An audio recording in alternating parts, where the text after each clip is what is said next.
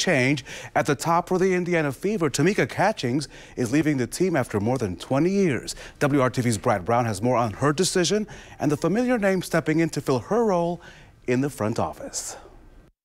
She was drafted by the Indiana Fever in 2001 and for more than two decades that followed grew into one of the game's best players and one of the WNBA's leading executives. But Tamika Catchings says it's time to move on and on Monday announced her departure as the Fever's general manager and vice president of basketball operations.